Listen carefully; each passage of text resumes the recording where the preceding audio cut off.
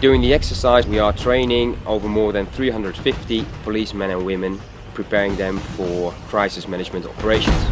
During this training we are doing police skill works as of roadblocks up to the level of arresting criminals by our SWAT teams.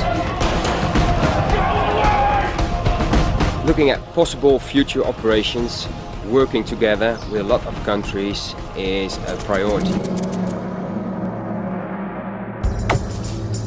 What the people can expect is a lot of cooperation and interoperability. We see that as our biggest challenge to make all the participants from different countries work together, try to find synergy in a positive way.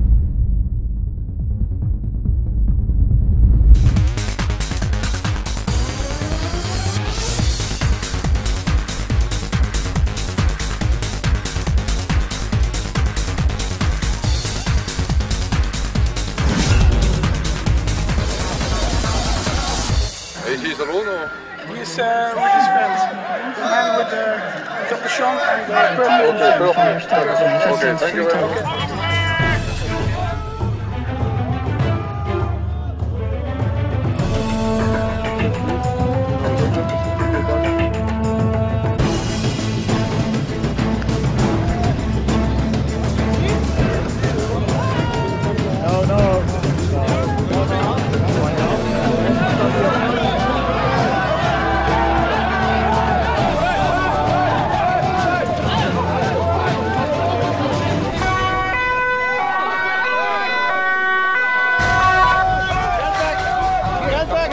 Tango 00, here is Tango 2. So really take from CRC.